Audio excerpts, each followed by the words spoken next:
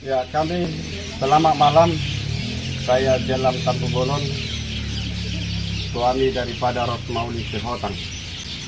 Eh, menyampaikan terima kasih untuk keputusan daripada Hakim Pengadilan Negeri Jayapura yang telah mengubah status tahanan daripada Ibu Rosmauli Sehotang dari tahanan rutan, tahanan eh, kejaksaan eh, menjadi tahanan rumah. Eh, sudah banyak kami alami di sini eh, di dalam membentuk eh, kedewasaan kami eh, di dalam khususnya di dalam perkara eh, pidana yang dituduhkan oleh DM kepada kami yang sebenarnya perkara itu tidak bersesuaian eh, dengan peristiwa. Apalagi dengan jaksa menerapkan pasal 351 penganiayaan dan melakukan penahanan selama 20 hari kemudian diperpanjang menjadi 50 hari. Lalu posisi sekarang statusnya sekarang adalah tahanan pengadilan yang kemudian diperpanjang oleh pengadilan 60 hari lagi berakhir bulan Oktober. Kami sekarang menghadapi proses eh, peradilan, proses persidangan yang seharusnya pada hari ini tanggal 13 13 Juli dilaksanakan pembukaan sidang pertama yaitu sidang mendengarkan dakwaan dari JPU. Sedianya jam 10 dilaksanakan secara Zoom tetapi sampai dengan saat ini tidak terlaksana dan kabar yang kami dapatkan melalui penasihat hukum kami bahwa akan eh, pelaksanaan ini ditunda dan akan dilanjutkan dilaksanakan pada tanggal 18 eh, Juli yang akan datang. Kami bersyukur atas keputusan ini dan biarlah kami berharap bahwa eh, keadaan ibu yang sakit sejak tanggal eh, 5 Juli dan keluar dari rumah sakit tanggal 11 Juli bisa membangun kesehatan ibu untuk menghadapi persidangan yang eh, dijadwalkan berikut oleh pengadilan. Terima kasih kepada semua teman-teman yang telah berempati dan bersimpati selama ibu ada di sini. Mereka berkunjung secara bergantian dengan membawa apa yang ada pada mereka, termasuk doa. Dan kami kira semua dari perhatian para teman-teman eh, adalah perhatian yang tulus, memberikan sokongan dukungan moral eh, dan spiritual kepada ibu kekasih. Terima kasih untuk mereka dan biarlah Tuhan memberkati.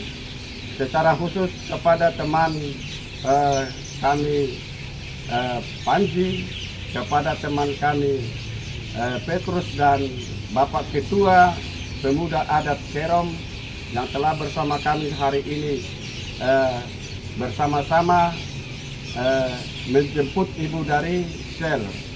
Kiranya Tuhan memberikan hikmat lebih besar kepada mereka sehingga mereka menjadi alat Tuhan untuk menyatakan kebenaran dan keadilan dan bisa bisa terwujud kepedulian sosial yang lebih besar di dalam eh, permasalahan-permasalahan yang ada di dalam masyarakat.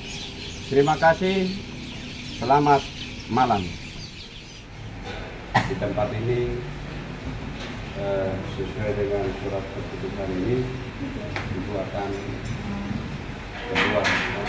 walaupun statusnya tetap ada pada tahanan kalau tahanan rumah itu ada lapor gitu lapor itu kewenangannya jaksa.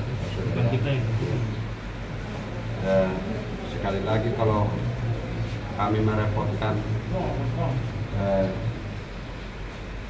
Pak Polisi semua di sini, kami eh, ya berterima kasih dan kalau eh, sekiranya kurang hendak dalam perjumpaan kita, kita kami mohon maaf.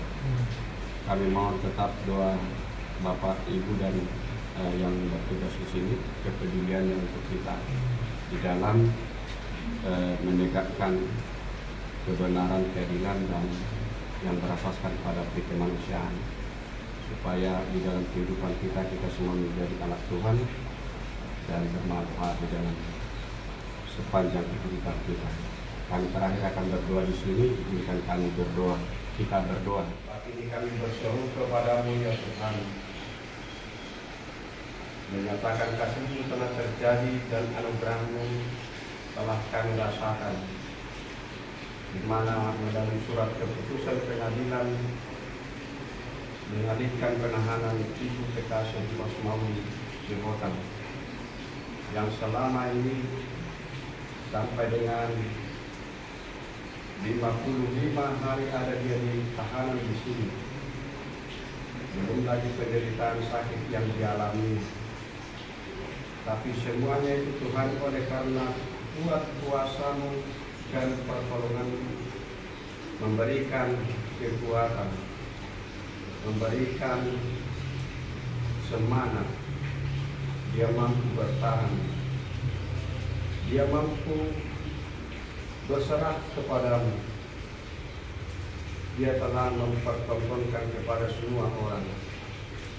Bahwa yang orang yang dipersangkakan di dalam kasus hukum harus bersedia menanggung segala bebannya. Sudah dipertunjukkannya dan biarlah itu pelajaran kepada semua orang menyatakan tunduk kepada pemerintah, tunduk kepada pelayanan para penegak hukum. Tetapi ya Allah Bapa di surga kami sedang berjuang. Berikanlah keadilan kepada Ibu Kekasih Rosmawi Jehotan sebagaimana dia berbuat kalau saja di dalam pertimbangan-pertimbangan daripada kemanusiaan kami sebenarnya beban ini telah berat dia tanggung. Tetapi adalah cara Tuhan untuk menempa dia untuk menyatakan kuasamu. Terpujilah Allah Bapa di surga. Dan nyatakan juga lah keadilanmu kepada tiap-tiap orang yang melakukan konspirasi kejahatan. Allah Bapa di surga, ajarlah kami supaya mengerti jalanmu. Dan biarlah kami berdiri dan teguh, berdiri, berjalan ke kehendakmu.